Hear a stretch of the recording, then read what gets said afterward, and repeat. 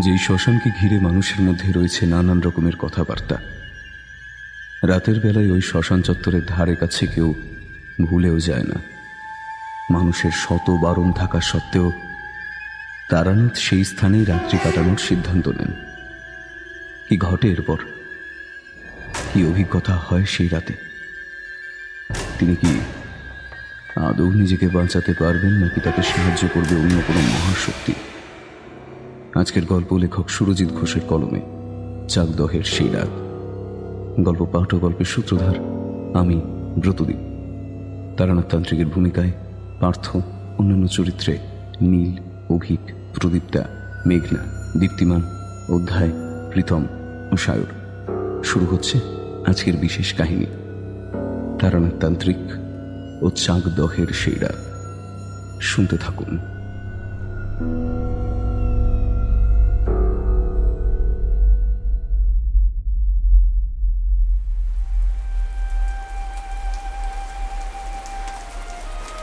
আবারও একটা বৃষ্টি ভেজা ঠান্ডা স্যাঁতস্যাঁতে দিন।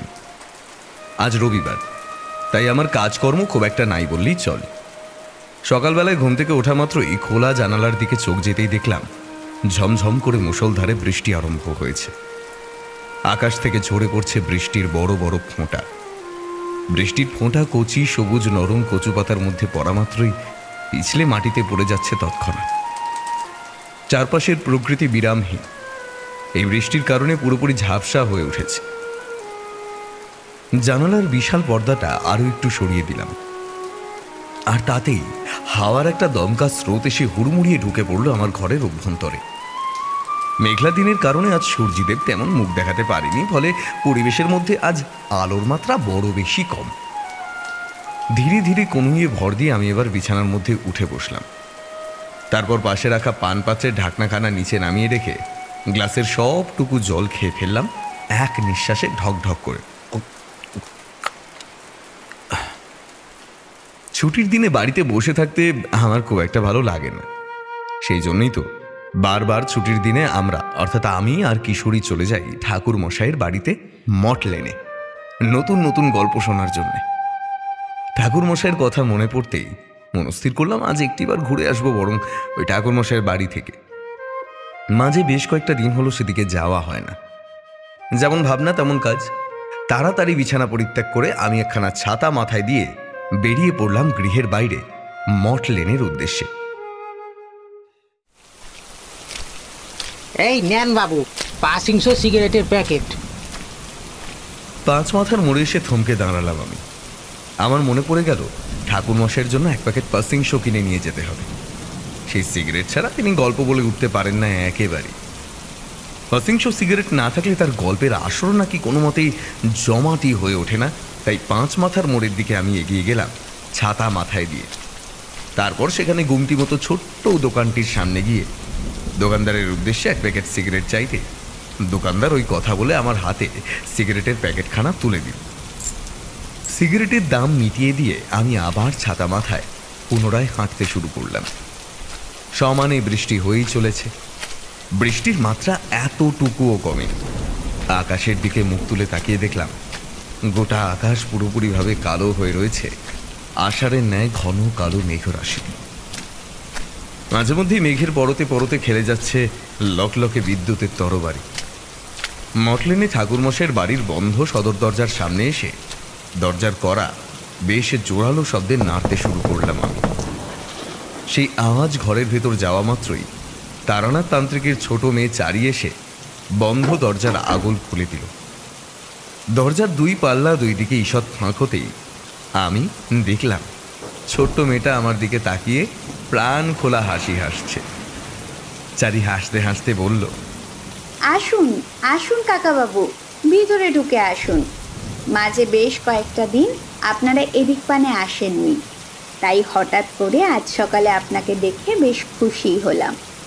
তা কেমন আছেন কাকাবাবু? সব কিছু কুশল মঙ্গল তো? হ্যাঁ চারিমা ভগবানের আশীর্বাদে এবং ঠাকুরমশাইয়ের শুভ কামনায় বেশ দিব্য আছি। তা তুমি বলো তোমরা ভালো আছো তো? হ্যাঁ কাকাবাবু। আমরাও বেশ ভালোই আছি পরমেশ্বরের কৃপায়। তা কাকাবাবু আজ আপনি একলা এলেন? কিশোরী কাকাবাবু এলেন না যে? কি হয়েছে জানো চারিমা সকালবেলা ঘুম থেকে উঠেই আমি ঠিক করে নিয়েছিলাম যে আজ একটিবার তোমাদের বাড়ি আসব বলে। তাই আগে থেকেই আমার কোনো পরিকল্পনা ছিল না। তোমাদের বাড়িতে আসার। সেই জন্য এই বিষয়টা কিশোরীকেও জানিয়ে উঠতে পারিনি। তাই বাধ্য হয়ে একলা চলে এলাম। তবে চিন্তা করো না, আজ তো রবিবার। সেও হাজির হতে পারে তোমাদের বাড়িতে। ঠাকুরমশাইয়ের কাছ থেকে গল্প শোনার লোভে। এমন বৃষ্টি ভেজা শীতল আবহাওয়া সে কি আর এমনি এমনি গল্প না শুনে কাটিয়ে দেবে ভেবেছ? দেখো হয়তো এক্ষুনি এসে পড়ল বলে। সত্যি কাকাবাবু, আপনারা পারেনও বটে। নিজেদের মধ্যে এমন গল্প গুজব রসিকতা করেন যে, না এসে থাকতেই পারি না। আর ঠিক আছে কাকাবাবু, আপনি এবার ভিতরে ঢুকে আসুন। না হলে বৃষ্টির জলে ভিজে ঠান্ডা লেগে শরীর খারাপ করবে। চলো চলো, চারিমা, এবার বরং ভিতরে প্রবেশ করি। চারি হাসতে হাসতে ঢুকে এলো। ঘরের ভেতর তার দেখা দেখি আমিও প্রবেশ করলাম। ঠাকুর মশাইয়ের বাড়ির অভ্যন্তরে। আমি ভিতরে ঢুকে আসার সাথে সাথেই চারি পুনরায় ঘরের দরজা বন্ধ করে দিল ভিজে ছাতার জুতোখানা দেওয়ার এক কোণে নামিয়ে রেখে আমি উঠে এলাম সোজা ওপরে। দাওয়ায় রাখা তক্তপোষের উপর এসে বসতেই চারি আমার কাছে এগিয়ে এসে বলল কাকাবাবু আপনি বসুন আমি বরং বাবা মশাইকে ডেকে দিচ্ছি এই কথা বলে চারি এবার সোজা প্রবেশ করল কক্ষের ভেতর। আমি বাইরের দিকে তাকিয়ে বসে রইলাম। বিরামহীনভাবে একটানা বৃষ্টি হয়েই চলেছে। আকাশে মেঘের অবস্থা দেখে সহজেই অনুমান করা যায় যে এই বৃষ্টি মোটেও এখন থামবার নয়। কক্ষের ভিতর থেকে এবার বেরিয়ে এলেন তারানাথ তান্ত্রিক। আমার দিকে তাকিয়ে সৌজন্যমূলক হাসি হেসে তিনি বললেন তা কি ব্যাপার হে হ্যাঁ? আজ একলা এসেছ তা তোমার সঙ্গীটি কোথায়? হ্যাঁ ঠাকুরমশাই। আজ আমি একাই এসেছি তবে কিশোরীর খবর সঠিকভাবে বলতে পারব না কারণ আজকে এখানে আসার পরিকল্পনা আমাদের আগে থেকে নেওয়া ছিল না। তাই সে ব্যাপারে কিছুই জানে না। আপনি দাঁড়িয়ে কেন? বসুন না। আরে বসছি বসছি। আমাকে নিয়ে অযথা এত ব্যস্ত হয়ে পড়ো না তো। এই কথা বলে ঠাকুরমশাই এবার এসে বসলেন আমার একেবারে মুখোমুখি দক্তপোষের ফাঁকা অংশে। আমি তার পছন্দের সিগারেটখানা বের করে তা বাড়িয়ে দিলাম তার দিকে। পাফিংস সিগারেটের প্যাকেট দেখা মাত্রই ঠাকুরমশাইয়ের মুখ যেন আনন্দে ঝলমল করে উঠল। সিগারেটের প্যাকেট খুলে একটা সিগারেট বের করে তার ঠোঁটের ডগায় চেপে ধরলেন। তারপর ফস শব্দ একটি দেশলাই কাঠি জ্বালিয়ে সিগারেটের মধ্যে আগুন ধরিয়ে লম্বা লম্বা টান দিতে লাগলেন। চারি আমাদের কাছে এসে বলল বাবা মশাই কাকাবাবু, আপনারা বসে আড্ডা দিন। আমি বরং আপনাদের জন্য দু পেয়ালা চা করে আনি। এমন বৃষ্টির দিনে একটু গরম গরম চা না হলে কি আর চলে? এই কথা বলে চারি রান্নাশালার দিকে চলে যেতেই যাচ্ছিল। ঠিক এমন সময় ঠাকুরমশাই তার উদ্দেশ্যে বললেন চারিমা তুই বরং আমাদের জন্য তিন পেয়ালা চা করে আন। আচ্ছা বেশ ঠিক আছে। আমি বরং তাই করে আনছি। ঠাকুরমশাই আপনি তিন পেয়ালা চা করে আনতে বললেন কেন চারিকে? আমরা তো আছি এখানে মোটে দুজন। ঠাকুরমশাই আমার এই প্রশ্ন শুনে আমার দিকে এক অদ্ভুত দৃষ্টিতে তাকিয়ে খানিকটা হেসে বললেন আরে বুঝলে না হে এক পেয়ালা বাড়তি চা আমি করতে বললাম তোমার বন্ধু অর্থাৎ কিশোরীর জন্য। ছেলেটা বাড়ি হন্তদন্ত হয়ে আসছে হে। কিশোরী হন্তদন্ত হয়ে আসছে মানে? আপনি কি জানেন না কি সে আসছে? হ্যাঁ প্রথমে তোমার বাসায় গিয়েছিল কিন্তু সেখানে তালাবন্ধ দেখে সে অনুমান করে নিয়েছে যে তুমি নিশ্চয়ই আমার বাড়িতে এসেছ। তাই তো সেও এবার বেশ তাড়াহুড়ো করে রওনা দিয়েছে আমার বাড়ির উদ্দেশ্যে। আর মাত্র আট মিনিটের মাথায় সে এসে পৌঁছবে আমার বাড়িতে। সেই জন্যই তো চারিকে একসাথে আমাদের তিনজনের জন্য তিন পেয়ালা চা করতে বললাম। ঠাকুরমশাইয়ের কথা শুনে আমি রীতিমতন বেশ আশ্চর্য হয়ে পড়লাম। কারণ আশ্চর্য হওয়ার মতোই একখানা কথা বলেছেন ঠাকুরমশাই। আমি জানি তার অনেক ক্ষমতা রয়েছে, যা আমাদের মতো কোনো সাধারণ মানুষের একেবারেই থাকে না। ঠাকুরমশাই আজ মাত্র কিছুটা সময় আগে যে কথা বললেন, তার সত্যতা আসলে ঠিক কতখানি তা প্রমাণিত হবে আর কিছুক্ষণের মধ্যে। আমি আর একটিও কথা বললাম না। কেবলমাত্র চুপচাপ বসে রইলাম কি ঘটে তা দেখার জন্যে। এক মিনিট গেল, দু মিনিট গেল, তিন মিনিট গেল, পাঁচ মিনিটও হয়ে গেল। চায়ের পেয়ালাটা তুলে আমি একটা চুমুক বসালাম। সে এক টান টান উত্তেজনার মুহূর্ত। সাত মিনিট পার হতেই ঠাকুরমশের বাড়ির বন্ধ সদর দরজার অপর প্রান্ত হতে কড়া নাড়ানোর আওয়াজ ভেসে এলো। আমি ঠাকুরমশের মুখের দিকে তাকালাম অবাক দৃষ্টিতে। তার চোখে মুখে ততক্ষণে ফুটে উঠেছে প্রাণ খোলা হাসির উচ্ছ্বাস। ছাতা মাথায় দিয়ে আমি বেরিয়ে এলাম সদরের দরজা খুলতে আর সদরের দরজার আগল খোলা মাত্রই আমি দেখলাম সদরের দরজার সামনে দাঁড়িয়ে আছে কিশোরী। সে আমাকে দেখে রীতিমতো বেশ মেজাজের সাথে বলল, কি ব্যাপার হে ভাইয়া তোমার? এক একে চলে এলে ঠাকুরমশের বাড়িতে? আসার পথে তো একটিবার আমাকেও ডেকে নিতে পারতে।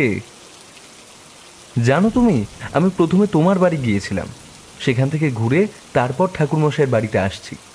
তোমার বাসায় গিয়ে দেখি একখান বড় তালা ঝুলছে। তারপরে আর কি? আমি বুঝে গেলাম, এমন ঝড় বৃষ্টির ছুটির দিনে তুমি নিশ্চয়ই ঠাকুর মশাইয়ের বাড়িতে এসেছ। তাই তো আমিও বেশ তাড়াহুড়ো করে হাঁটতে শুরু করলাম মঠ লেনের দিকে। কিশোরী এবার ঢুকে এলো ঘরের ভেতর। আমি পুনরায় সদরের দরজা বন্ধ করে দিলাম। তারপর আমরা দুজন মিলে উঠে এলাম দাওয়ায়। সেখানে তক্তবোসের উপর বসা মাত্রই ঠাকুরমশাই বললেন নাও নাও তোমরা চাটা খেয়ে নাও। উহ ঠাকুরমশাই বৃষ্টি হচ্ছে বটে। আপনার বাড়ি এসে পৌঁছতেই হিমশিম খেয়ে গেলাম। তার উপরে আবার একখানা গল্প করার মানুষও সঙ্গে নেই। গোটা রাস্তাটা একা একা হাঁটতে একেবারেই ভালো লাগে না।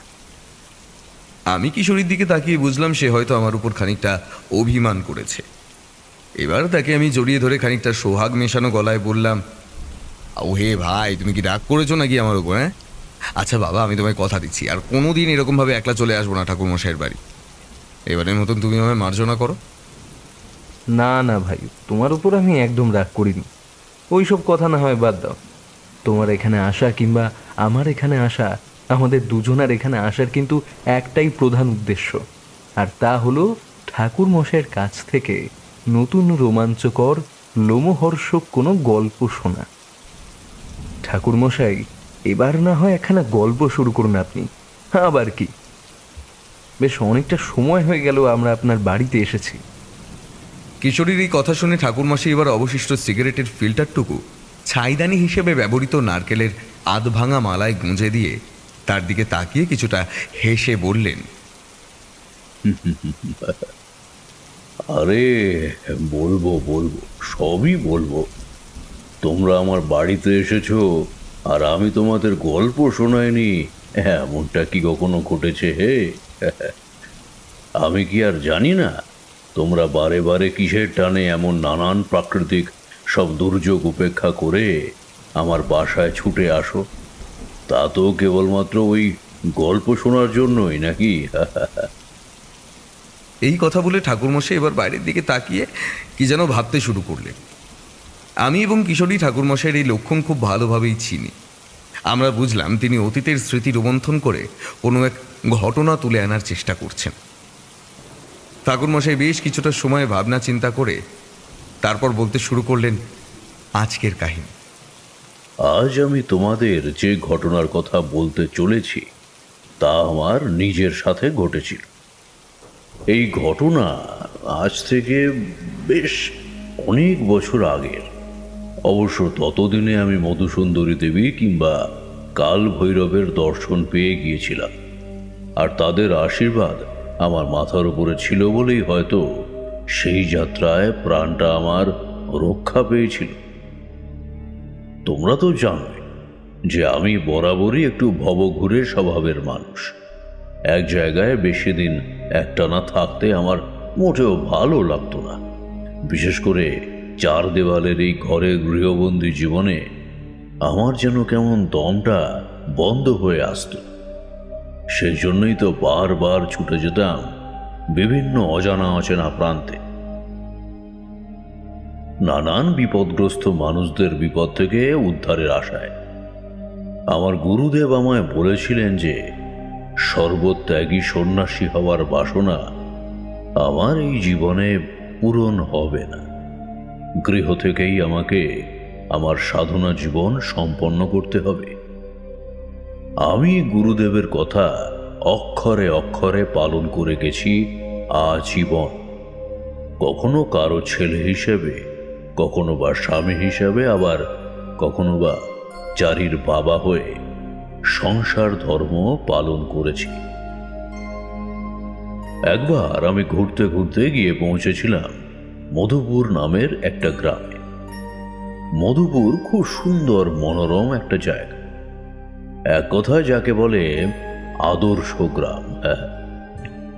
তো সেখানে বেশ কয়েকটা দিন কাটিয়ে তারপর সেই স্থান পরিত্যাগ করেছিলাম।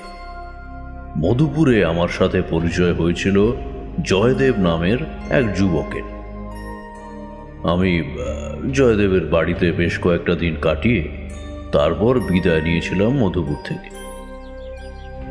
তো বিদায় নেওয়ার পূর্বে জয়দেব আমার হাত, দুই হাত জড়িয়ে ধরে কাতর কণ্ঠে অনুরোধের সুরে বলেছিল, ঠাকুরমশাই ঠাকুরমশাই, আপনাকে আমার কাছে আটকে রাখার ক্ষমতা, দুঃসাহস কিংবা স্পর্ধা, এসবের কোনো কিছুই নেই। তাই সেই জন্য আপনাকে অনুরোধ করছে, আপনি আবার আসবেন আমাদের গ্রাম মধুপুরে। আমার বাড়িতে পুনরায় পায়ের ধুলো দেবেন এই কথা আমায় দিন, তবেই আমি যেতে দেবো আপনাকে।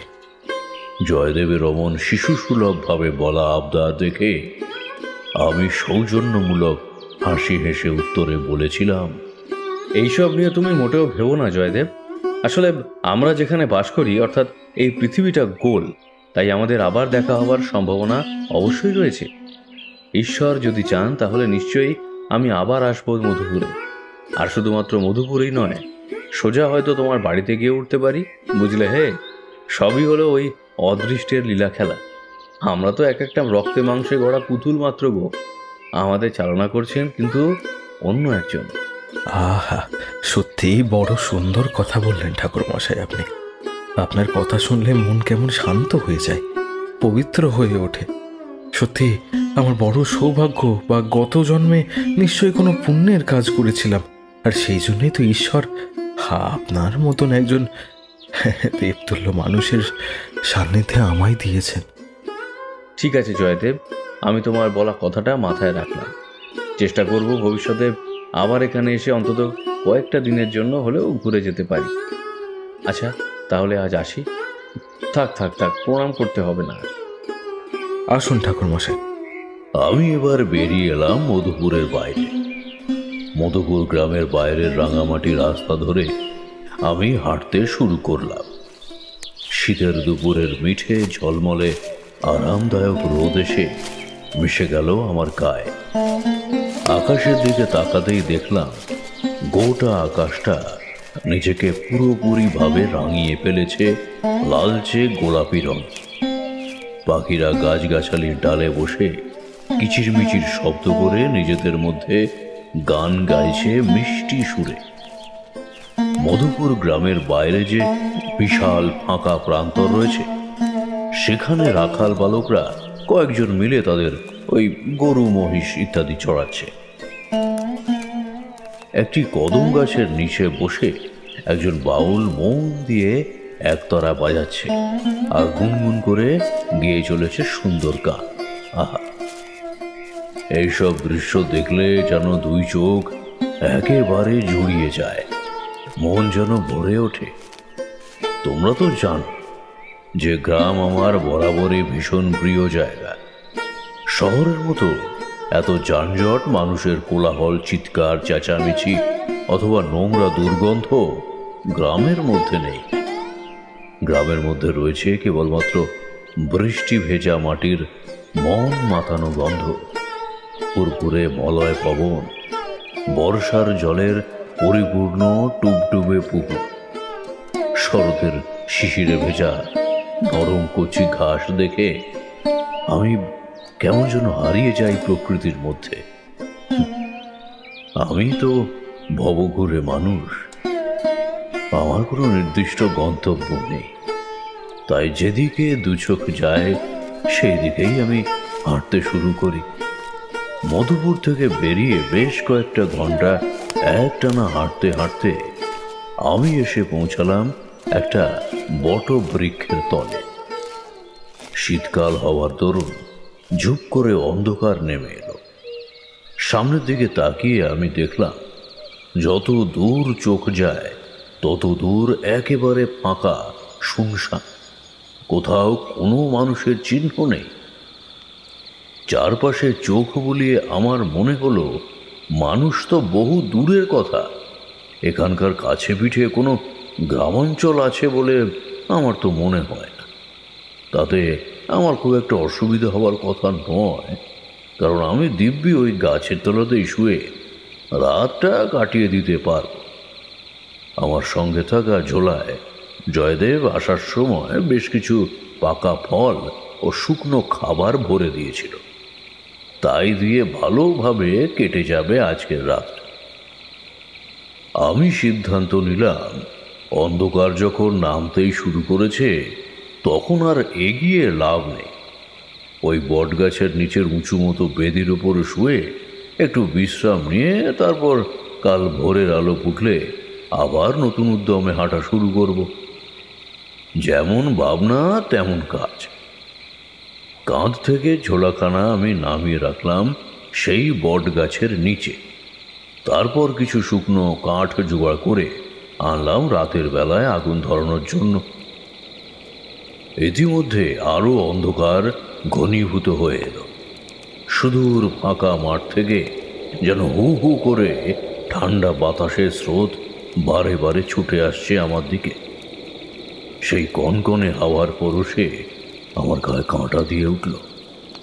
আমি এবার আগুন ধরিয়ে বসে রইলাম সেই বট গাছের তলায়। বেশ কিছুটা সময় অতিবাহিত হওয়ার পর আমি দেখলাম একটা গরুর গাড়ি মন্থর গতিতে হেলে দুলে এগিয়ে এসে থামল আমার মুখোমুখি। গাড়িটি সম্পূর্ণ খালি। যেটুকু বুঝলাম তাতে কোনো যাত্রী ছিল না।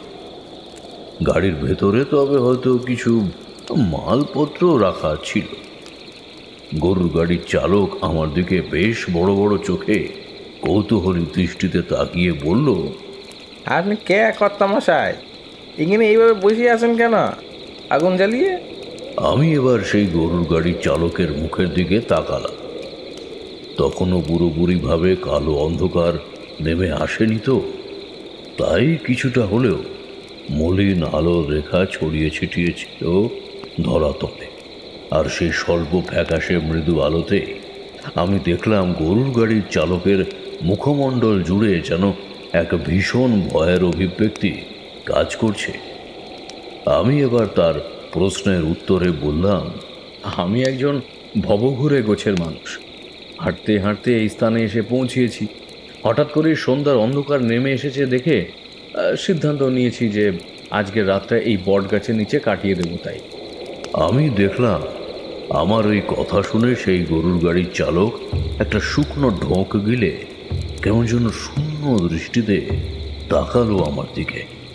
আমি আমি বেশ বুঝতে পারছিলাম যে কোনো কিছুর আশঙ্কায় ভয়ানক রকমের ভয় পাচ্ছে সে। সেই চালক রীতিমতো কম্পমান স্বরে কাটা কাটা ভাবে বলল এই জায়গাটি খুব একটা সুবিধের নয় কর্তা এখানে রাত কাটানোর সিদ্ধান্ত নেবেননি। তাহলে আপনি বিপদে পড়বেন। বিপদ? কি বিপদে পড়ব আমি? হ্যাঁ সেই সব আমি আপনাকে বলতে পারব না কর্তা। এই জায়গা যে তাদের জায়গা। তাদের স্থানে দাঁড়িয়ে তাদের নাম করতে নেয় তবে এইটুকু বলতে পারি এখানে কেউ রাত কাটায় না। এই জায়গা মোটি ভালো না এই জায়গাটার অনেক বদনাম রয়েছে। আপনি নিশ্চয় বুঝতে পারছেন আমি কেন আর কোন বিষয়ে বলতে চাইছি। আপনি বরং উঠে আসুন আমার গাড়িতে। আমি আপনাকে আমার ঘরে নিয়ে যাচ্ছি। আপনাকে দেখি তো এখনও সাধু সন্ন্যাসী বলেই মনে হচ্ছে। এই গরিবের ঘরে না হয় আজকে রাতটা কাটালেন কোনো রকমের কষ্ট করে। তো সুরক্ষিত থাকবে। আর এই জায়গায় থাকলে না জানি আপনার সাথে কি বিপদ না ঘটতে পারে। আমি তো বুঝতে পারছি। তুমি হয়তো কোনো ভূত প্রেতের কথাই বলতে চাইছো। কিন্তু আমি সেই সবে বিন্দুমাত্র ভয় পাই রাম রাম রাম রাম। কর্তামশাই হলেও আপনি তেনাদের নাম করবেন না। এই জায়গা পুরোপুরি তেনাদের অঞ্চল। আপনি জানেন না, প্রতি বছর এখানে কত কত মানুষ মারা যায়। রাত কাটাতে এসে আর কি। সেই জন্যই তো আপনাকে বারে বারে বলতেছি এবং সতর্ক করছি যে শেষবারের মতন আপনি এখানে থাকবেন না। দয়া করে উঠে আসুন এই জায়গায়। আমিও আর বেশিক্ষণ থাকব না। এক্ষুনি গাড়ি নিয়ে চলে যাব আমার গ্রামের উদ্দেশ্যে। না দাদা আমি যখন একবার এইখানে রাত কাটাবো বলে সিদ্ধান্ত নিয়েছি তখন আমি কোনো মতেই সেই সিদ্ধান্ত বদল করব না। আমি নিজের চোখে দেখতে চাই আজ রাতে আমার সাথে কি ঘটেছিল। তবে হ্যাঁ তোমাকে ধন্যবাদ জানাচ্ছি আমাকে আগে থেকে সতর্ক করে দেওয়ার জন্য। ঠিক আছে কর্তা সে আপনি যেমনটি ভালো বোঝেন তাই করুন। আমার মনে হলো আপনাকে সতর্ক করে দেওয়া প্রয়োজন, তাই করলাম। এখান থেকে, আর মাত্র কিছুটা তফাতে রয়েছে ওই চকদাহের শ্মশান। সেই শ্মশানের অনেক বদনাম রয়েছে কর্তা।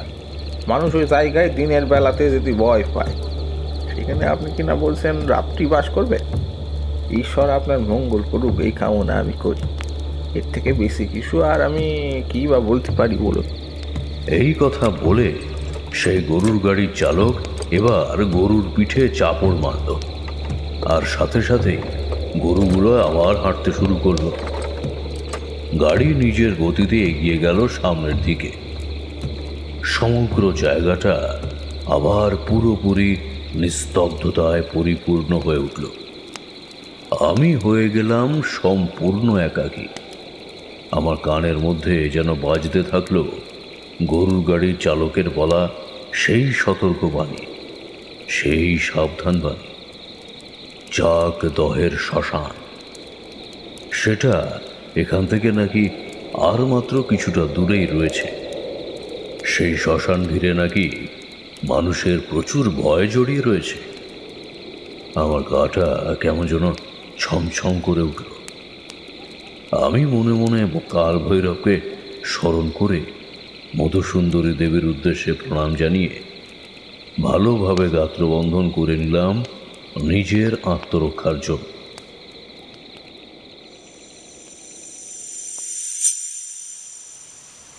এক টানা এত দূর অব্দি গল্প বলার পর ঠাকুরমশাই এবার স্বল্প কিছুটা সময়ের জন্য একটু থামলেন। আমি এবং কিশোরী বাইরের দিকে তাকিয়ে রইলাম অপলক দৃষ্টিতে। ইতিমধ্যেই চারপাশ কালো হয়ে এসেছে। মেঘের কারণে। হঠাৎ করে একটা তীব্র চোখ ধাঁধানো আলোর রশ্মি ঝলসে উঠল গগন প্রান্তে। আমি এবং কিশোরী তৎক্ষণাৎ নিজেদের দুই হাতের তালু দিয়ে দুই কান চাপা দিলাম। আর সাথে সাথে ভীষণ শব্দে বজ্রপাত হল। কোথাও কাছে পিঠেই হলো। ঠাকুরমশাই আমাদের দিকে তাকিয়ে খানিক বিরক্ত মেশানো সুরে বলল তোমরা বরং এখানে একটু বসো। আমি একটিবার ওই ভেতর থেকে তামাক টামাক ইত্যাদি সেজে নিয়ে একবারে এসে বাকি গল্পটা বলছি, কেমন? আর চারিকেও তোমাদের জন্য চা করতে বলি। তা চা খাবে তো দাঁড়াও, বসো, আমি বলছি। ঠাকুরমশাইয়ের কথা শুনে আমি এবার তড়িঘড়ি আপত্তি করে বললাম আমি, না না, ঠাকুরমশাই, এখন আর চা করতে হবে না। চারির হাতে হাজারো কাজ রয়েছে। এইভাবে তাকে বারে বারে ব্যস্ত করে তোলার কোনো মানে হয় না। তাছাড়াও আমাদের চা খাওয়ার এখন এতটুকু ইচ্ছা নেই। আপনি বরং ভেতর বাড়ি থেকে গড়গড়া সেজে আনুন। তারপর আমাদের বাকি গল্পের অংশটুকু শোনাবেন। আমরা ততক্ষণ আপনার জন্য না হয় অপেক্ষা করছি। ও আচ্ছা আচ্ছা ঠিক আছে বেশ। তোমরা তাহলে এখানেই বসে অপেক্ষা করো। আমি একটিবার ভিতরে ঘর থেকে ঘুরে আসি হ্যাঁ? এই কথা বলে ঠাকুরমশাই এবার সোজা চলে গেলেন ঘর বানে। আমি আর কিশোরী একে অপরের দিকে একবার তাকালাম। কিশোরী ধুতির মধ্য থেকে সিগারেটের প্যাকেটখানা বের করে তার থেকে দুটি সিগারেট বের করে একটি সে নিজে নিল এবং অপরটি দিল আমার। ঠাকুরমশাই আমাদের থেকে বয়সে অনেক বড়। তার উপর তিনি ব্রাহ্মণ মানুষ, তাই আমরা তাকে যথেষ্ট সম্মান করি। সে কারণে আজ অবধি কোনোদিন তার সামনে সিগারেট ধরায়নি। কিন্তু এখন আমরা জানি যে তিনি যখন একবার গড়গড়া সাজতে ভিতর বাড়িতে গিয়েছেন, তখন আর বেশ অনেকটা সময় এদিক পানে আসবেন না। আর সেই সুযোগটাকেই কাজে লাগানোর জন্য আমরা এই ভাগে একটু ধূমপানে ব্যস্ত হয়ে পড়লাম। কিশোরী সিগারেটের আগুন ধরিয়ে দু চোখ বন্ধ করে তৃপ্তির সাথে হুস হুস করে টান দিতে লাগল। তার দেখা দেখি আমিও সিগারেটে আগুন ধরালাম। সিগারেটের হালকা ফিকে ধোঁয়া ঊর্ধ্বপানে উঠে মিশে যেতে লাগল অন্ধকারাচ্ছন্ন শূন্যের মাঝে। আহা, এই একটা জিনিস আমায় বড়ই আনন্দ দেয়, হে। বড়ই তৃপ্তি দেয়। ঠাকুরমশাই জ্বলন্ত গড়গড়া হাতে নিয়ে বেরিয়ে এলেন ঘরের বাইরে। তারপর আমাদের সামনে তক্তবসের উপর এসে বসলেন। গড়গড়ার নলে মুখ ঠেকিয়ে একটা লম্বা টান দিয়ে বেশ অনেকটা ধোঁয়া একসাথে বাতাসে ছেড়ে তিনি হাসতে হাসতে বললেন কথাগুলো। কিশোরীটা চিরকালই বড় বেশি অধৈর্য প্রকৃতির মানুষ। ওর শরীরে ধৈর্য শক্তি বড়ই কম, তাই সে এবার বলে উঠল, ঠাকুরমশাই, এবার তাহলে গল্পের পরবর্তী অংশ আপনি বলতে শুরু করুন। তা শোনার জন্য ভীষণ রকমের কৌতূহলী হয়ে পড়েছি। সেই দিন রাতে আমি ওভাবেই আগুন চালিয়ে বসে রইলাম। ধীরে ধীরে অন্ধকারটা গাঢ় হয়ে গেল দেখতে দেখতে অমাবস্যার রাতের মতো নিকশ কালো অন্ধকারাচ্ছন্ন আকাশের দিকে মুখ তুলে দেখলাম, আজ আকাশে চাঁদ ওঠেনি, মেঘের কারণে। কেবলমাত্র দু একটা নক্ষত্র যেন বহু কষ্টে মেঘের পর্দার আড়াল থেকে বেরিয়ে এসে মিটিমিটি ভাবে জ্বলছে এবং তারা প্রত্যেকে এক একটি ক্ষুদ্র ক্ষুদ্র অভ্রের কণার মতোই দৃশ্যমান হচ্ছে। আমার সামনে থাকা বিশাল সুদূর ফাঁকা প্রান্তর হতে এবারে ধেয়ে এলো শীতল এলোমেলো বাতাস। আমার সামনে জ্বলতে থাকা সেই আগুন বারবার কেঁপে কেঁপে উঠল। এবং আগুনের তেজ ক্রমশ কমে এলো। আমি এবার আমার লাল শালুর ঝোলার মধ্যে থাকা কয়েকটা পাকা ফল বের করে তা খেতে আরম্ভ করলাম। খাওয়া শেষ হলে কাল ভৈরবের উদ্দেশ্যে প্রণাম জানিয়ে সেই বট গাছের নিচে উঁচু মতো বেদির উপর শুয়ে পড়লাম। বনেদি বাড়ির বিশাল দামি নরম বিছানার থেকে মাটির মধ্যে গজিয়ে ওঠা নরম কচি ঘাস কিংবা ভাঙা পরিত্যক্ত মন্দিরের চাতাল অথবা এরকম বটতলা বরাবরই আমার খুব প্রিয় জায়গা। এই সকল স্থানে ঘুমানোর মধ্যে একটা সুখ আছে। আর সেই সুখ অবশ্য তোমাদের মতো সংসারী মানুষেরা কখনোই উপলব্ধি করতে পারো তো যাই হোক আমি ঘুমিয়ে পড়লাম খুব সহজেই। সারাদিন যাবৎ অনেক পথ হাঁটার কারণে হয়তো ক্লান্ত হয়ে পড়েছিল শরীরটা। তাই দেহ টান টান করে মেলে দিয়ে চোখ বুঝতেই ঘুম নেমে এলো, দুই চোখের পাতা জুড়ে। নিজের অজান্তেই কখন যেন ঘুমিয়ে পড়ল। কিন্তু আচমকা মাঝরাতের দিকে কটা বাজে তা সঠিকভাবে বলতে পারব না, তবে রাত্রি বেশ তখন গভীর। সেটা বিলক্ষণ আন্দাজ করতে পেরেছিলাম। আমার ঘুমটা ভেঙে গেল। ঘুম ভাঙতেই আমি কেমন যেন একটু ওই মৃদু গুনগুনানির আওয়াজ পেলাম। ধীরে ধীরে উঠে বসে দুই চোখ একবার কচলে নিয়ে চারপাশে তাকিয়ে দেখলাম, কোথাও কেউ নেই। হয়তো মনের ভুল ভেবে আবার শুয়ে পড়তেই যাব ঠিক এমন সময়। পিছন পানে তাকাতেই দেখলাম কতগুলো কালো কালো ছায়ামূর্তি সেই ফাঁকা মাঠ থেকে দলবদ্ধভাবে এগিয়ে আসছে আমার দিকে। সে কি ঠাকুরমশাই? আপনি দেখলেন সেই জনমানবহীন ফাঁকা মাঠ থেকে বেশ কয়েকটি ছায়ামূর্তি আপনার দিকে এগিয়ে আসছে? হ্যাঁ গো তাহলে আর বলছি কি? আমার বুকটা কেমন যেন ছ্যাঁত করে উঠল। মেরুদণ্ড দিয়ে সরসর করে বয়ে গেল শীতল রক্তের স্রোত। কেমন যেন একটা দুর্গন্ধ টের পেলাম বাতাসের মধ্যে। পরিবেশ যেন ক্রমে ভার হয়ে উঠল। এদিকে আমি বুঝতে পারছি না যে ওই সেই ছায়ামূর্তিগুলো নিজেদের মধ্যে গল্পগুজব করতে করতে অত্যন্ত ব্যস্ত এবং এটাও বুঝলাম যে তারা বেশ খোশ মেজাজে রয়েছে। তারা এবার হাঁটতে হাঁটতে এসে থামলো আমার মুখোমুখি। না, ঠিক হাঁটতে হাঁটতে নয়। অন্ধকারের কারণে পরিষ্কারভাবে দেখতে না পেলেও যেটুকু দেখলাম, তাতে মনে হলো তারা বোধহয় বাতাসে ভর করে ভাসতে ভাসতে এগিয়ে আসতে লাগল সম্মুখ ভাগে।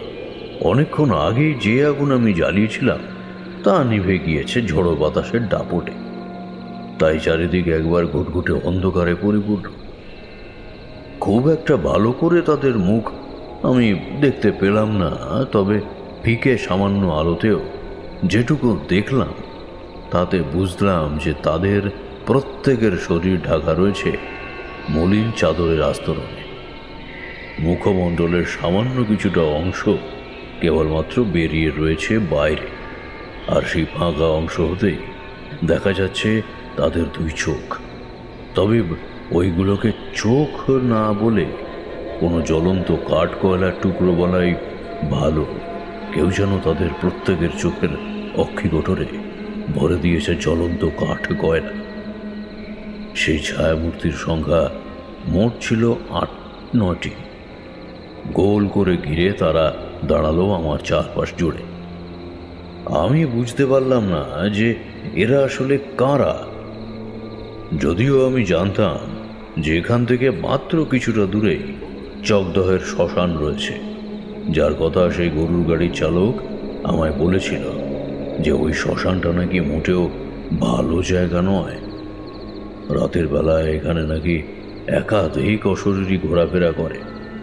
তাই আমি হয়তো টের পাচ্ছিলাম এরাই সেই অশরীরী দল। কিন্তু একটি বারের জন্য আমার এমনটাও মনে হলো যে এরা যদি ভূত প্রেত না হয়, তাহলে এরা নির্ঘাত ডাকাত। তখনকার দিনে ডাকাতের বড় উৎপাত ছিল হয়ে গ্রামগঞ্জে। তার উপরে আবার আর ওরকম জড়মানবহীন একটা ফাঁকা জায়গা। ডাকাতি করার জন্য একেবারে আদর্শ স্থান বলা চলে। আমার মনের মধ্যে এই দুটি বিষয় নিয়ে বেশ একটা দোলাচলের সৃষ্টি হলো। অবশ্য আমার সেই সকল ভাবনার ছেদ পড়ল। কিছু মুহূর্ত পরেই কারণ সেই ছায়ামূর্তিদের মধ্যে একজন বিকট শব্দে করে বেশ কিছুটা হাসি হেসে আমার দিকে তাকিয়ে বলল, কে তুমি? এমন রাতের বেলা এখানে শুয়ে রয়েছ যে তুমি কি জানো না যে স্থান মোটেও ভালো জায়গা নয়? এখানে তেনারা ঘুরে বেড়ায় প্রতি রাতে। চোখদের শ্মশান সম্পর্কে কি কোনো কথা শোনি তুমি? চাদরের আড়াল থেকে মুখ ঢেকে সেই সমস্ত কথাগুলো বলে চলল সেই দলের একেবারে সামনে দাঁড়িয়ে থাকা একটি ছায়ামূর্তি। কথা বলা শেষ করে সে আবার এই রূপে বিকট শব্দের অর্থ হাসি হেসে উঠল। তার হাসির শব্দ যেন ওই ফাঁকা প্রান্তরের মধ্যে ধ্বনিত প্রতিধ্বনিত হয়ে আবার যেন ফিরে ফিরে আসতে লাগল আমাদের কাছে। তার গলার স্বর যেন কোনো পার্থিব মানুষের নয়। কারণ মানুষের গলার আওয়াজ কখনো এরকম অমানসিক হতেই পারে না। আমাদের বুকের মধ্যে সর্দি টর্দি বসলে যেমন ঘ্যান ঘ্যানে আওয়াজ বেরিয়ে আসে, ঠিক সেই রূপ ছিল তার গলার আওয়াজ। কি হলো কি? তোমার কানে কি কথাগুলো গেল না? বলো বলো, তুমি কে? এখানে রাত্রি রাত্রিবাস করার সাহস দেখিয়েছ কেন? আমি এবার সেই ছায়ামূর্তির দিকে তাকালাম। তাকিয়ে দৃঢ় কণ্ঠে বেশ কঠিন সুরে বললাম, আগে আমার নাম তারানাথ চক্রবর্তী। তবে মানুষজন আমায় সকলে তারানাথ তান্ত্রিক নামেই ডাকে। আমি এখানকার মানুষ নই, এখান থেকে বহু দূরে আমার বাড়ি। তবে হ্যাঁ এখানকার ওই চকদহ শ্মশানের ব্যাপারে আমি অনেক কথা শুনেছি। আমাকে এখানে রাতে না থাকার জন্য বহুবার বারণ করা হয়েছিল। কিন্তু আমি কারও কোনো কথায় কান দিইনি, কারণ আমি ভূত প্রেতের উপর এতটুকু ভয় পাই না। তাই আমার ওদের থেকে দূরত্ব বজায় রাখা কোনো প্রয়োজন নেই। তারা যদি নিজেদের ভালো চায়, তাহলে আমার ধারে কাছে যেন না ঘেসে এতে তাদেরই মঙ্গল। আমার এই কথা শুনে সেই ছায়ামূর্তির দল এবার নিজেরা একে অপরের দিকে তাকিয়ে হাসাহাসি করতে লাগল। আমি আমার সঙ্গে থাকা ঝোলাখানা কাঁধে নিলাম। সেই দলের মধ্যে থেকে প্রথম ব্যক্তিটি এবার আমায় বলল আচ্ছা বেশ। ভূত প্রেতের ভয় যখন তুমি পাবি না তখন চলো আমাদের সাথে। আমরা তোমায় এক বিশেষ জায়গায় নিয়ে যাব। সেই ছায়ামূর্তির পাশ থেকে অন্য আর একটা ছায়ামূর্তি এবার হি হি করে হেসে বলল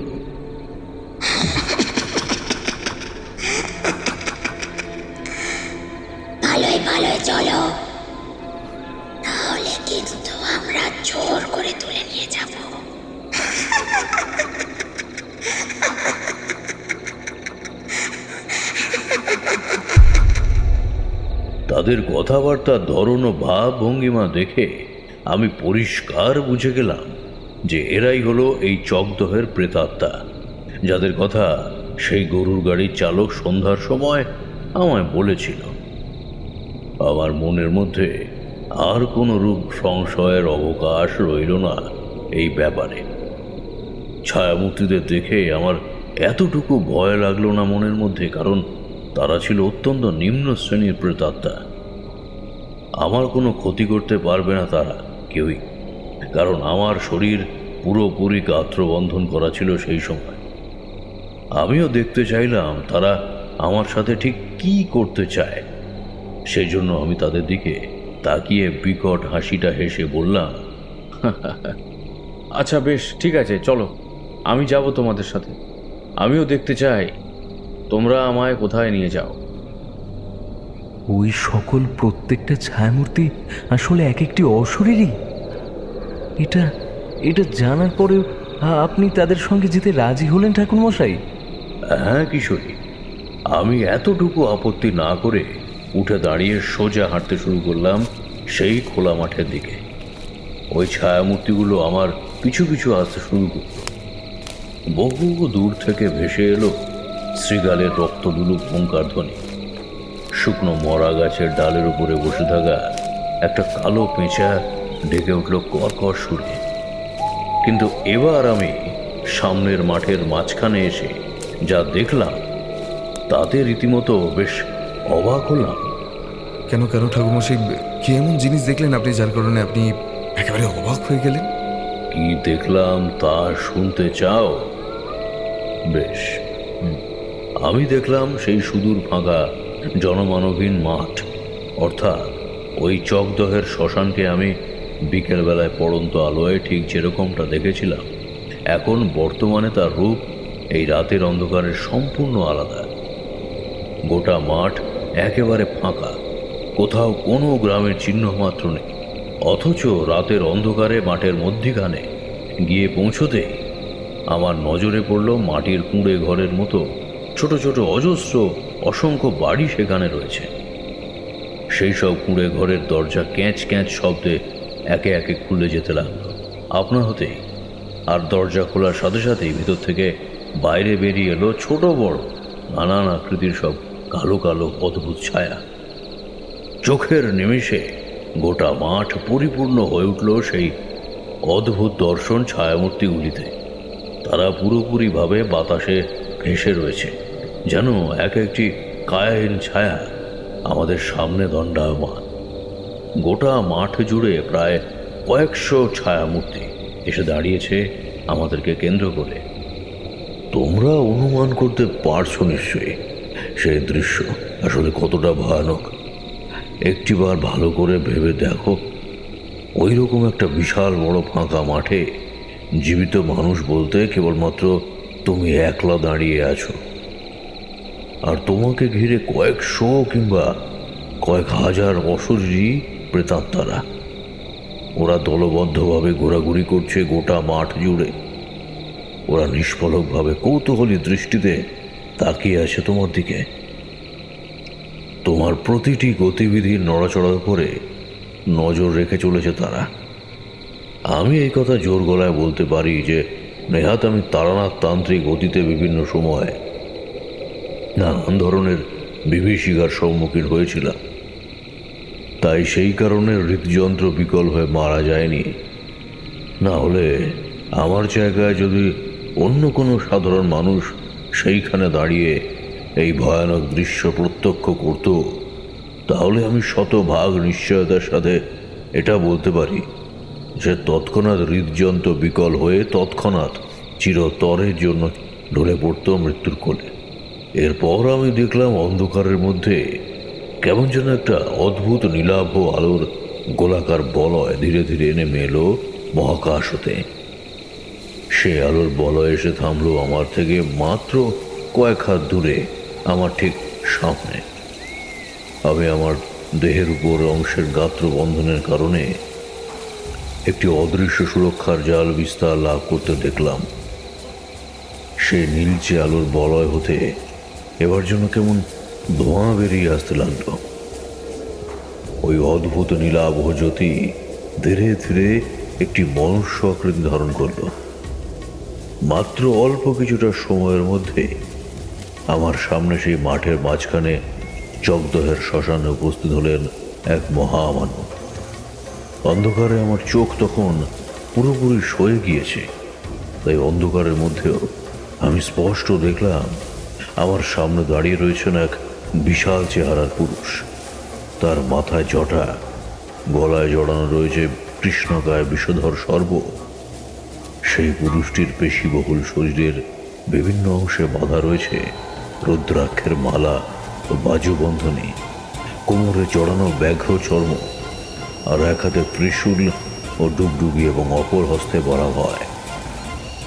আমার বুঝতে এতটুকু অসুবিধা হলো না যে আমার পরমেশ্বর কাল ভৈরব আমায় এই ঘোর সংকটের হাত থেকে উদ্ধার করতে উপস্থিত হয়েছেন স্বয়ং এই চাকদহের শ্মশান ভূমিতে আমি দুই হাত জড়ো করে তার উদ্দেশ্যে প্রণাম জানালাম।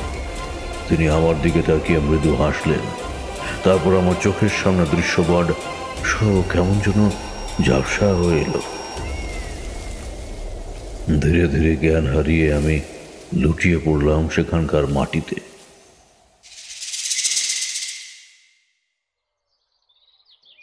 পরের দিন সূর্যের আলো সকালবেলা আমার চোখে এসে পড়তেই জ্ঞান ফিরল আমার। ধীরে ধীরে চোখের পাতা খুলে তাকালাম আমি সামনের দিকে। মাথাটা কেমন যেন ভার হয়েছিল। মাটির মধ্যে থেকে ধুলো ঝরে আমি উঠে বসলাম। কালকে রাতের সেই সব ঘটনাগুলো ছেঁড়া ছেঁড়াভাবে আমার মনে পড়তে লাগল, একে একে সব কিছু। এবার আমার দৃষ্টি গেল পেছন পানে। আমি দেখলাম, আমার পিছনে বসে রয়েছে একটি অল্প বয়সের কিশোরী বালিকা, যাকে আমি এতক্ষণ লক্ষ্য করিনি। সে আমার দিকে তাকিয়ে সৌজন্যমূলক মৃদু হাসি হেসে বলল, যাক বাবা শেষমেশ তাহলে তোমার জ্ঞান ফিরল। আমি যে কি ভীষণ রকম ভয় পেয়ে গিয়েছিলাম তা তোমাকে বলে বোঝাতে পারব না। আমি সেই মেয়েটির দিকে তাকিয়ে এবার আড়ষ্ট গলায় বললাম কে মা তুমি? এখানে কি করছ? আগে আমার নাম সারদা। আমি সামনের এক গায়ের মেয়ে। ভোরবেলায় এই পথ ধরেই যাচ্ছিলাম হঠাৎ করে দেখলাম তুমি এখানে জ্ঞান হারিয়ে অচৈতন্য অবস্থায় পড়ে রয়েছো। তারপর সামনের ওই পুকুর থেকে জল নিয়ে এসে তোমার চোখে মুখে ছিটিয়ে দিলাম। কিন্তু তাতেও তোমার জ্ঞান ফিরল না। তাই তোমাকে অমন অসহায় অবস্থায় একলা ফেলে রেখে যেতে পারিনি। সমানে তোমার কাছেই বসেছিলাম। আর মনে মনে বারে বারে ঠাকুরের কাছে প্রার্থনা করছিলাম যাতে তিনি তোমাকে আবার সম্পূর্ণ সুস্থ স্বাভাবিক অবস্থায় ফিরিয়ে দেন সেই জন্য। সেই মেয়েটি অর্থাৎ সারদার দিকে তাকিয়ে আমি এবার কৃতজ্ঞতার হাসি হাসলাম। তারপর তার কপালে ও মাথায় চুলে ভালোভাবে হাত বুলিয়ে দিয়ে বললাম তুই কে রে মা? এমনভাবে আমার কাছে বসেছিলিস যেন একেবারে ঠিক মা মহা জগদ্ধাত্রী আমার এই কথা শুনে ছোট্ট বাচ্চা মেয়েটা এবার ভারী মজায় দুই হাতে তালি দিয়ে কিলকিল করে হেসে বলল ও মা আমি আবার কে? আমি তো সারদা গো সারদা। ওই তো ওই সামনেই আমার গ্রাম দেখা যায় আর কিছুটা গেলেই। আমি ওটাও মা জগদ্ধাত্রী নই। আমি রক্তে মাংসে গড়া সাধারণ ঘরের মেয়ে মানুষ। কিন্তু আমি এটুকু বুঝেছি যে তুমি মোটেও সাধারণ মানুষ নয়। তুই কেমন করে বুঝলি যে আমি সাধারণ মানুষ নই? হুম? বল বল। কেমন করে বুঝলি যে আমি সাধারণ মানুষ নই? আমি অসাধারণ কেউ একজন? কি হলো রে? আমার প্রশ্নের জবাব দিবি না? ও মা তা বুঝব না কেন? শোনো গো, শোনো। আমি এখানকার মেয়ে। সব কিছু বেশ ভালোভাবে জানি। প্রতি বছর কত মানুষ এইখানে রাত কাটিয়ে মারা যায় তুমি জানো? আজ অব্দি কেউ এই মাঠে রাত্রিবাস করলে আর পরের দিন তাকে সকালে সূর্যের আলো দেখতে হয় না। এই মাঠ পেরোলেই যে চকদহের শ্মশান পড়ে, সেখানে একাধিক অশরীরীর বাস। ওই সকল অশরীরীরা রাতের আধারে জীবন্ত হয়ে ওঠে। তারা ঘোরাফেরা করে ওই সমগ্র তল্লাট জুড়ে। যদি কোনো জীবিত মানুষ ভুলেও এই স্থানে আশ্রয় নেয়, তাহলে তাকে মেরে তার রক্ত চুষে তারা খায়। একমাত্র তুমিই সেই ব্যক্তি, যে এখানে রাত কাটিয়েও দিব্য জীবিত অবস্থায় রয়েছ। তাহলে এটা তো সহজেই বলাই যায় যে তুমি সাধারণ কেউ নয়, তুমি অসাধারণ। বাহ, বেশ সুন্দর করে কথা বলিস তো তুই, মা। আচ্ছা সারদা, তুই যে বললি, তুই তো এখানকার মেয়ে নোস। তুই নাকি সব কিছু জানিস এখানকার সম্বন্ধে? কীভাবে? হ্যাঁ জানি তো সব কিছু জানি। তুমি বলো না কি জানতে চাও? দেখো আমি ঠিক তার উত্তর দিতে পারব। আচ্ছা সারদা মা উম, বল তো এখানে হঠাৎ এই ফাঁকা মাঠের মধ্যে এত অশরীরীর আগমন ঘটলো কি করে? এই কথা আমি আমার বাবার মুখ থেকে গল্পের মতন শুনেছিলাম ছোটবেলায়। আর তাই আজ তোমাকে বলছি শোনো। এই যে সামনের বিশাল ফাঁকা মাঠ দেখছ আগে এই জায়গাটা মোটেও কোনো মাঠ ছিল না। সে আজ থেকে বহুকাল আগের কথা। কয়েক যুগ আগে নাকি এইখানে একটা ছোটখাটো গ্রাম ছিল। গোটা গ্রামে ছিল বিভিন্ন দরিদ্র শ্রেণির মানুষের বসবাস। বহু মাটির কুড়েঘর ছিল এই সমগ্র জায়গা জুড়ে। কিন্তু হঠাৎ করে একদিন ভয়ানক মহামারী শুরু হয়। মহামারীর প্রকোপে প্রাণ হারাতে থাকে একের পর এক দরিদ্র শ্রেণির মানুষ। তাদের কাছে অর্থ না থাকার কারণে তারা সঠিকভাবে চিকিৎসাও করতে পারে না। ফলে নিমেষের মধ্যে মাত্র কয়েকদিনেই গোটা গ্রাম একেবারে উজাড় হয়ে যায়। মহামারীর কবলে পড়ে গ্রামের রাস্তায় রাস্তায় শিয়াল কুকুরের মৃতদেহের মতন পড়ে থাকতে দেখা যায়। মানুষের মৃতদেহ। সেই সব আজ থেকে অনেককাল আগের কথা। তারপরে ওই সকল ঘরবাড়ি ভেঙে গেছে। প্রকৃতির রোদ, ঝড়, বৃষ্টির মুখোমুখি হয়ে। এখন সমগ্র জায়গাটা এক সুদূর প্রসারী তৃণভূমিতে পরিণত হয়েছে। এখানকার লোকেরা বলে মহামারীর কবলে পড়ে মারা যাওয়া ওই সকল নিরীহ মানুষদের আত্মারাই নাকি জেগে ওঠে প্রতিনিশীতে। এই চকদহের শ্মশানে এবং এই মাঠ জুড়ে ঘুরে বেড়ায় তারা। তুমি বড় সৌভাগ্যবান গো, সেই কারণে প্রাণ রক্ষা পেয়েছ। না হলে এখানে কেউ রাত কাটিয়ে প্রাণ নিয়ে বেঁচে ফিরতে পারে না। এরপর আর কি? আমি সারদার কাছে বেশ কৃতজ্ঞতা জানালাম। আমি সেই দিনই ফিরে আসতে চেয়েছিলাম আমার গৃহের উদ্দেশ্যে, কিন্তু সেই বাচ্চা মেয়েটি কিছুতেই আমাকে ওরকম অসুস্থ অবস্থায় একলা ছাড়তে চাইল না। তাই ওদের বাড়িতে দুটো দিন কাটিয়ে তারপর আমি আবার ফিরে এলাম আমার নিজের বাড়িতে। কিশোরী, কি কেমন লাগল তবে আজকের এই গল্প জগদহের শ্মশান, হুম? ভালো লেগেছে তো এই কাহিনী। ভালো তো লেগেছে ঠাকুরমশাই। ভীষণ ভালো লেগেছে। কিন্তু চকদহ শ্মশানের ওই সকল প্রেতাত্মাদের ঠিক কি ঘটল? কাল ভৈরব তাদের সাথে কি করেছিলেন? সেই সব বিষয়ে আপনি খোঁজ খবর নেননি বা জানার চেষ্টা করেননি? না জানার চেষ্টা করিনি বা হয়তো জানতেও চাইনি। কারণ সব বিষয়টাই আমি ছেড়ে দিয়েছিলাম। একেবারে আমার ইষ্ট দেবতার উপরে। আমি জানি, সেই সকল প্রত্যেকটি আত্মাদের পরমেশ্বর মুক্তি দিয়েছিলেন। বহু যুগের অতৃপ্ত প্রেতাত্মারা মুক্তি পেয়েছিল কাল ভৈরবের কৃপায়। বেশ, ভালোই লাগল ঠাকুর মশাই আজকের এই কাহিনী। ইয়ে ভায়া কিশোরী, আজকের মতো গল্প তো শেষ এখানেই হ্যাঁ? চলো, এবার বরং ওঠা যাক। এই সময় বৃষ্টির মাত্রা কিছুটা হলেও কমে এসেছে। হ্যাঁ ভাই তাই চলো। ঠাকুর মশাই আজকের মতো এলাম তাহলে। দুগ্গা দুগ্গা বলে এখন এই সময় বেরিয়ে পড়াই মঙ্গলজনক। এত তাড়াতাড়ি যাবেন না কাকাবাবু। আমি আপনাদের সকলের জন্য একটু খিচুড়ি রান্না করেছি। আর অল্প কিছুটা সময় লাগবে হয়তো। আপনারা একেবারে খিচুড়ি খেয়ে তারপর না হয় যাবেন। রান্নাশালার বাইরে বেরিয়ে এসে এই কথাগুলো বলল ঠাকুর মশাইয়ের কন্যা চারি খাবারের নেমন্তন্ন পাওয়া মাত্রই কিশোরীর দু চোখ যেন উজ্জ্বল হয়ে উঠল। সে চারিদিকে তাকিয়ে হাসতে হাসতে বলল ঠিক আছে চারিমা তুমি যখন একবার আমাদের থেকে যাওয়ার কথা বলেছ তখন আর কোনো চিন্তাই নেই। আমরা খিচুড়ি খেয়ে তারপরেই এখান থেকে বিদায় নেব। ততক্ষণ না হয় আমরা ঠাকুর মশাইয়ের সাথে আরও বেশ কিছু গল্প গুজব করছি। কি বলেন ঠাকুর মশাই অবশ্যই অবশ্যই কেন নয়?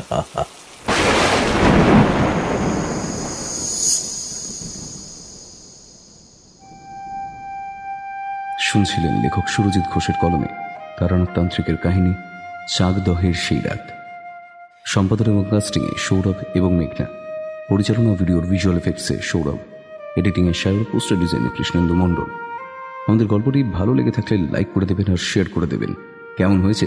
কমেন্ট করতে একদম ভুলবেন না। শুনতে থাকুন। Mid night fantasy